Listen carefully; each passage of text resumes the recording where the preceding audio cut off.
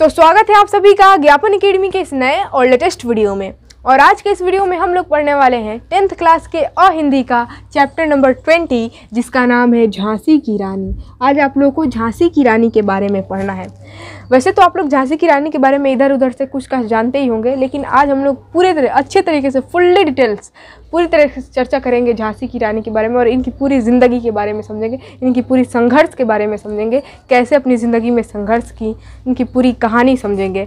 वैसे तो इस चैप्टर ये जो चैप्टर है, एक कविता है, याद रखिएगा, और इस कविता के लेखक, लेखिका है। औरत है ये, सुभद्रा कुमारी चौहान। इस कविता की जो है ना, लेखिका कौन है? सुभद्रा कुमारी चौहान, याद रखिएगा। ठीक है तो चलिए मैं आप लोगों को ये कविता जो है, झांसी की रानी इसके प्रत्येक लाइन को पढ़ती हूँ और उसका अर्थ समझाती हूँ। शुरुआत में लिखा गया है, सुभद्रा कुमारी चौहान लिखी है कि सिंहासन हिल उठे, राजवंशों ने भ्रिकुटी तानी थी, बूढ़े भारत में भी आई, फिर से नई जवानी थी, गुमी हुई आज़ादी की कीमत सबने पहचानी थी, दूर फिरंगी को करने की सबने मन में ठानी थी, चमक उठी सन सत्तावन में, वह तलवार पुरानी थी, बुंदेले हर बोले के मुँह से हमने सुनी कहादनी थी, खूब लड़ी मर्दानी, वह तो झांसी वाली रानी थी।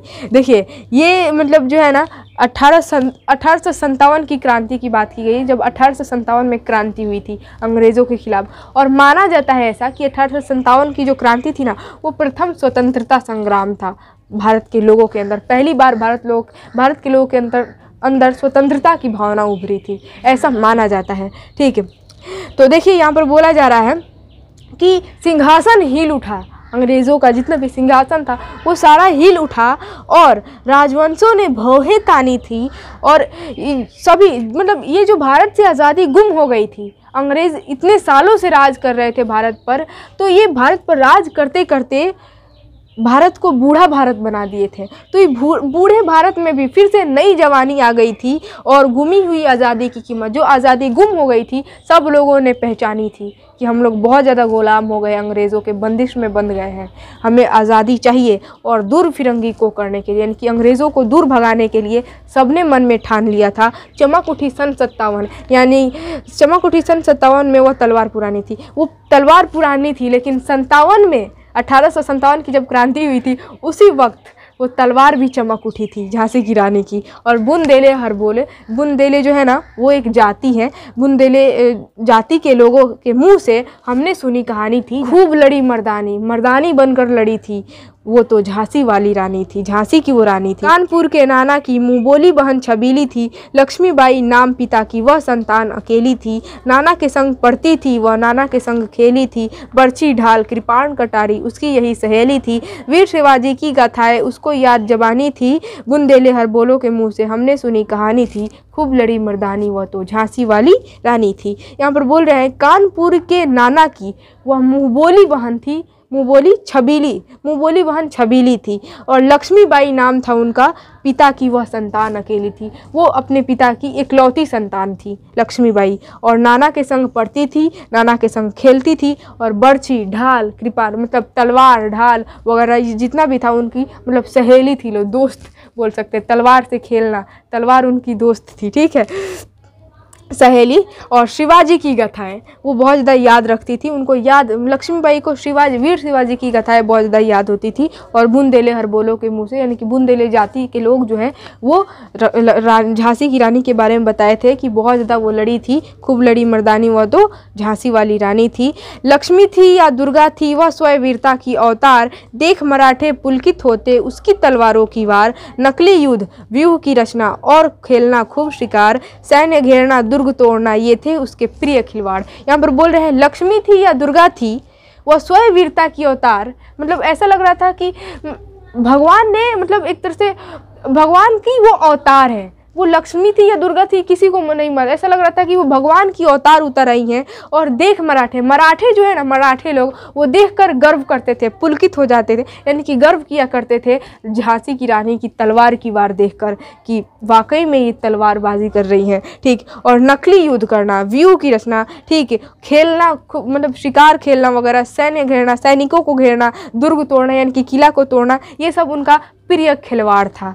ठीक है महाराष्ट्र कुल देवी उसकी भी आराध्य भवानी थी। बुंदेलहर बोलो के मुँह से हमने सुनी कहानी थी। खूब लड़ी मर्दानी वो तो झांसी वाली रानी थी। यानी कि महाराष्ट्र कुल देवी जो थी मतलब लक्ष्मीबाई की आराध्य भवानी थी और बुंदेले हर बुंदेले के जो जाति के लोग हैं, उनसे हम लोग उनसे कहानी सुनी गई थी कि वो लोग बता रहे थे कि झांसी की रानी जो है वो खूब लड़ी मर्दानी बनकर, अंग्रेज़ों को धूल चटा दी। हुई वीरता की वैभव के साथ सगाई झांसी में ब्याह हुई रानी बन आई, लक्ष्मी आई झांसी में। राजमहल में बजी बधाई खुशियाँ छाई झांसी में सुबह बुंदेले की विरुदावली सी वह आई झांसी में। चित्रा ने अर्जुन को पाया, शिव से मिली भवानी थी। बुंदेले हर बोलो के मुँह से हमने सुनी कहानी थी। खूब लड़ी मर्दानी हुआ तो झांसी वाली रानी थी। यहाँ पर बोल रहे हैं कि जिस तरह चित्रा ने अर्जुन को पाया, अर्जुन और चित्रा की शादी हो गई और जिस तरह शिव ने पार्वती को पाया, उसी तरह वीरता की वैभव के साथ झांसी में मतलब लक्ष्मीबाई की सगाई हुई और ब्याह हो गई मतलब ब्याह हो गया किसका? लक्ष्मीबाई का और रानी बन के आ गई वो झांसी में। लक्ष्मीबाई रानी बनकर कहाँ आ गई? झांसी में। अब वो झांसी की रानी बन गई, शादी हो गई। झांसी के राजा जो थे गंगाधर राव, उनसे शादी हो गई लक्ष्मीबाई की। तो अब वो झांसी की रानी बनकर झांसी में आ गई और राजमहल में बजी बधाई। राजमहल में चारों तरफ़ बजाइया, बधाइयाँ बज रही थी, खुशियाँ छाई हुई थी और बुंदेले बुंदेले जाति जो लोग हैं, उनके लिए सीख बनकर आई थी। सीख, ठीक, एक तरह से मोटिवेशन बन, प्रेरणा बनकर आई थी लक्ष्मीबाई, ठीक, और बुंदेले हर बोले बुंदेले जाति ही बता रहे हैं, उन्हीं के मुँह से सुना गया था कि खूब लड़ी थी लक्ष्मीबाई मतलब झांसी की रानी, मर्दानी की तरह। उदित हुआ सौभाग्य, मुदित महलों में उजियाली छाई, किंतु कालगति चुपके चुपके काली घटा घेर लाई।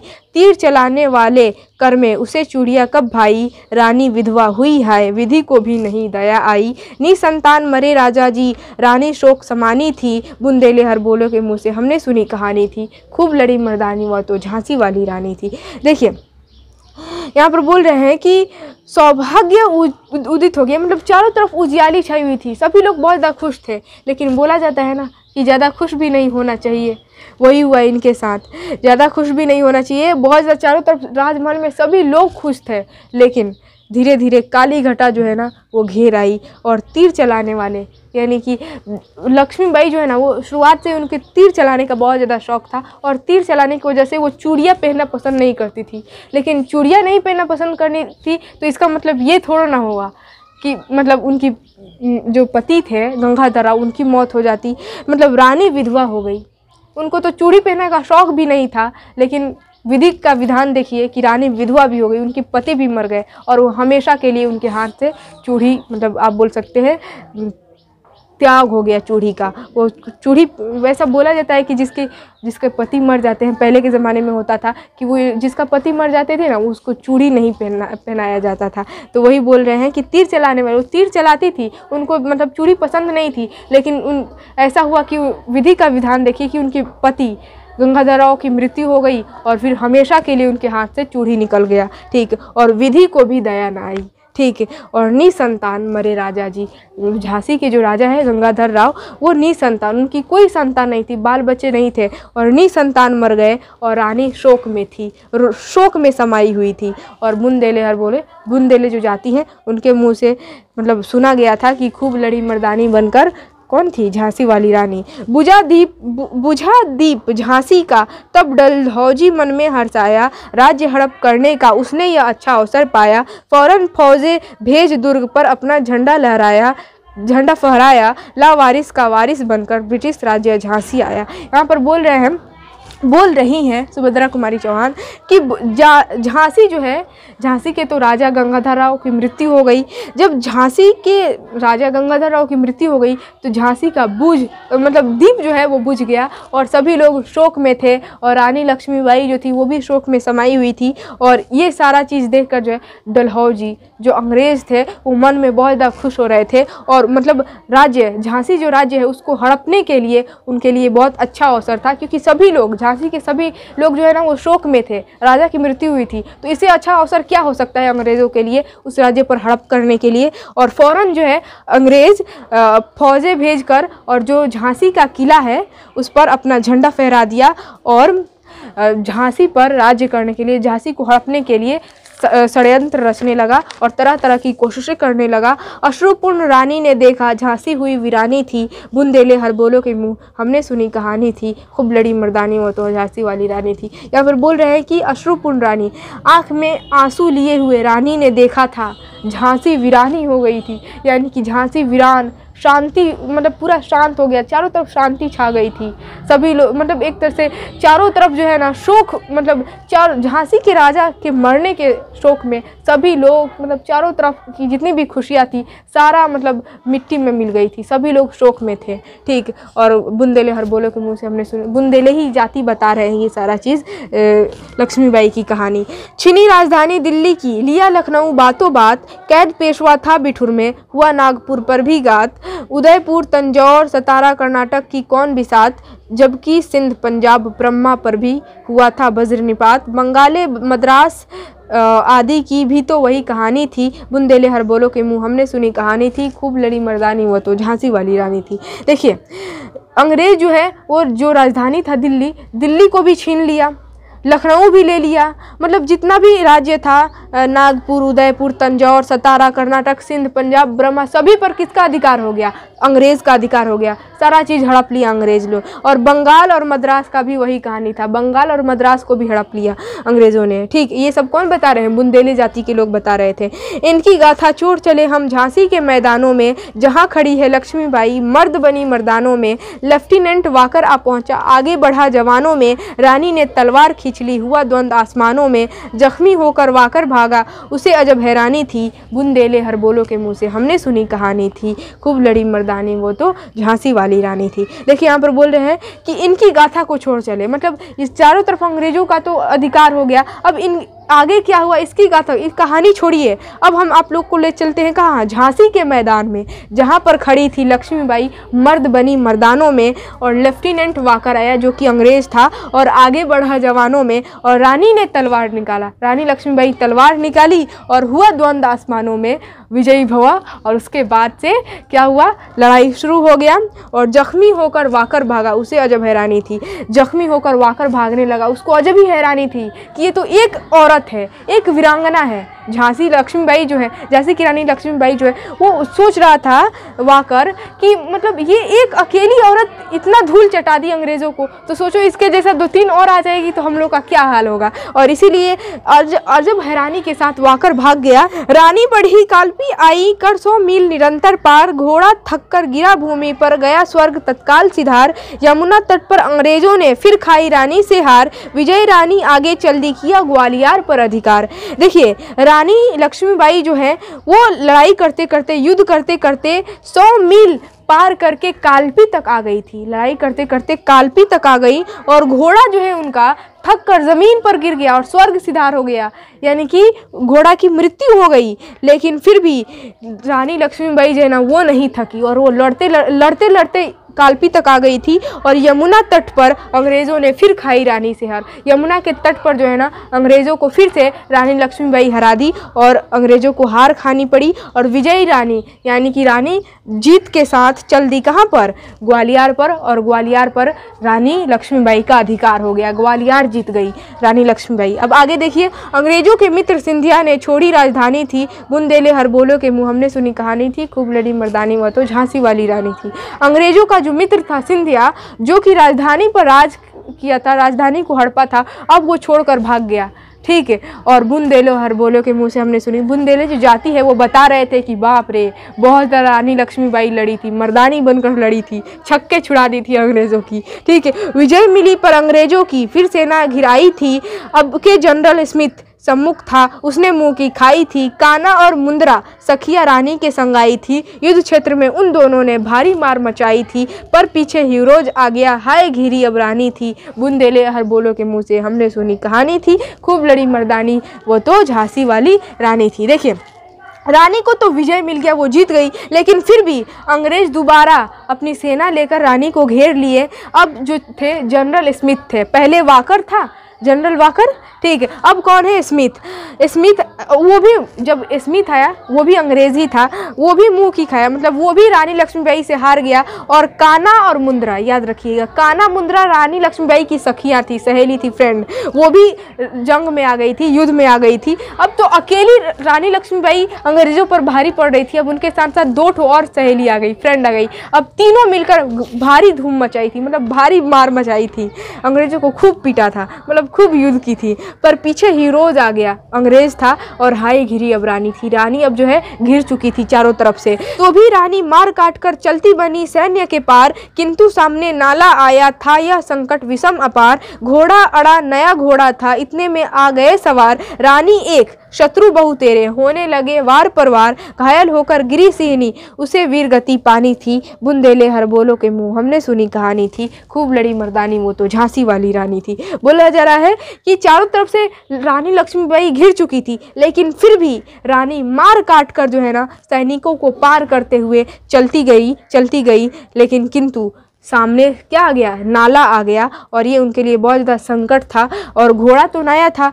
ठीक है, और उसके बाद से इतने में जो अंग्रेज़ है चारों तरफ़ से आ गए और रानी अकेली बच गई और शत्रु बहुत रहे ढेर सारे शत्रु, दुश्मन मतलब अंग्रेज़ लोग घेर लिए रानी को। घायल होकर गिरी सिहनी सिहनी यानी कि शेरनी, घायल होकर जो रानी लक्ष्मीबाई है उनको क्या बोला जा रहा है? शेरनी शेरनी गिर पड़ी, लेकिन उनको वीर गति पानी थी, उनको वीरता पानी थी यानी कि उनको जीतना था। और रानी गई सिधार। चिता अब उसकी दिव्य सवारी थी। मिला तेज से तेज। तेज की वो अच्छी अधिकारी थी। अभी उम्र कुल तेईस की थी। मनु नहीं अवतारी थी। हमको जीवित करने आई बन स्वतंत्रता नारी थी। देखिए वो चारों तरफ़ से ए, मतलब घिर चुकी थी और घायल होकर रानी लक्ष्मीबाई ज़मीन पर गिर पड़ी और उनको किसी भी हाल में वीर गति पानी थी। और बुंदेले जाति बोल रहे हैं कि खूब लड़ी मर्दानी।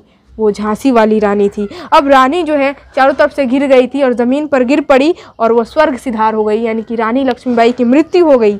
लेकिन फिर भी जो है ना, अभी उनकी उम्र जो है तेईस की थी और वो सभी को जीवित करने के लिए स्वतंत्रता नारी बनकर आई थी। सबको सीख सिखाने के लिए आई थी, ठीक? और दिखा गई पथ सिखा गई। हमको जो सीख सिखानी थी, बुंदेले हर बोलो के मुँह हमने सुनी कहानी थी। यानी कि जो भी हम लोग को रास्ता दिखाना था, वो दिखा गई। सीख सिखा गई कि मतलब इन अंग्रेज़ों को छोड़ना नहीं, इनसे लड़ते रहना है। रानी लक्ष्मीबाई लड़ते रही, लेकिन अंग्रेज़ों के सामने झुकी नहीं। भले ही मतलब चारों तरफ़ से रानी लक्ष्मी घिर गई थी, लेकिन मारते काटते वो मरी थी। उनकी ज़िंदगी में लिखा ही था, युद्ध करते करते मर जाना। ठीक तो युद्ध करते करते, मारते काटते अंग्रेज़ों के सामने झुकी नहीं और मारते काटते काटते ज़मीन पर गिरी और मतलब गिर कर स्वर्ग सिधार हो गई, इनकी मृत्यु हो गई। तो वही मतलब ये सीख लोगों के लिए, बुंदेले जाति और सभी लोगों के लिए, भारत के सभी देशवासियों के लिए ये सीख देकर गई कि किसी भी हाल में अंग्रेज़ों के सामने झुकना नहीं है और दिखा गई पथ, रास्ता दिखा गई, सिखा गई कि हमें स्वतंत्रता के लिए इन अंग्रेज़ों से लड़ाई करनी होगी, चाहे खून क्यों ना बहाना पड़े। बुंदेले हर बोले के मुँह से हमने सुनी। ये कौन बता रहे हैं? बुंदेले जाति बता रहे थे कि वाह। बहुत ज़्यादा लड़ी थी। कौन? मर्दानी बनकर रानी लक्ष्मी भाई, झांसी वाली रानी थी। ठीक है तो ये हो गया आप लोगों का पूरा चैप्टर नंबर ट्वेंटी कंप्लीट ये था आप लोगों का पूरा कविता। आई थिंक आप लोगों को समझ में आया होगा, कोई भी कंफ्यूजन हो, आप हमें कमेंट कर कर पूछ सकते हैं। अठारह की जब क्रांति हुई थी, वही उसी वक्त झांसी की रानी मतलब चारों तरफ़ से क्रांति हुई थी। अठारह की बहुत बड़ी क्रांति थी, जिसमें रानी लक्ष्मीबाई भी क्या की थी? लड़ी थी तो वही बात बताई गई है। ठीक तो चलिए वीडियो अच्छा लगा और मैं जो कुछ भी समझाई समझ में आए तो वीडियो को लाइक ज़रूर कीजिएगा और उसके बाद से आप लोग को सबसे ज़्यादा वीडियो को शेयर करना है। अपने पड़ोसी, अपने दोस्तों के पास जितना ज़्यादा हो सके उतना ज़्यादा शेयर करें। और हाँ अगर आप लोग चैनल पर नए हैं तो चैनल को सब्सक्राइब ज़रूर कर लीजिएगा। सब्सक्राइब कर लेने के बाद बेलाइकन यानी कि घंटी को दबाकर ऑल का ऑप्शन क्लिक कर लेना है। उससे होगा ये कि मेरी रोज़ आने वाली ऑल वीडियो का ऑल नोटिफिकेशन आप तक सबसे पहले पहुँचेगा, ठीक? तो फिर मिलेंगे नेक्स्ट वीडियो में नेक्स्ट टॉपिक के साथ। तब तक के लिए जय हिंद और खुदा हाफिज़।